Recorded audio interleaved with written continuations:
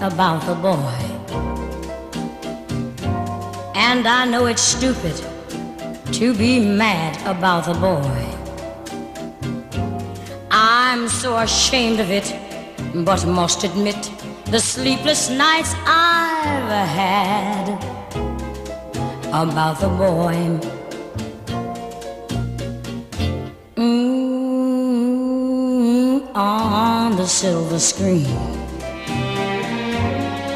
he melts my foolish heart in every single scene.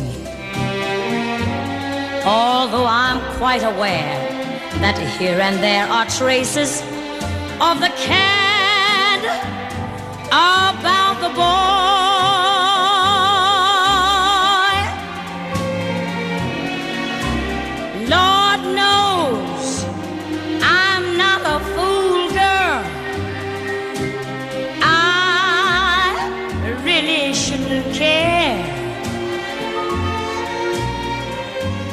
Lord knows I'm not a schoolgirl who's in the flurry of her first affair. Will it ever cloy? This odd diversity of misery and joy.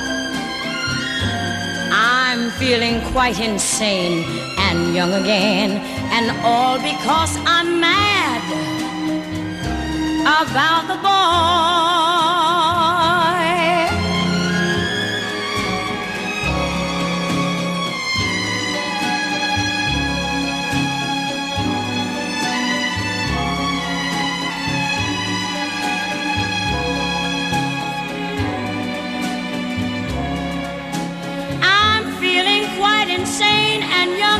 sin, and all because I'm mad about the boy.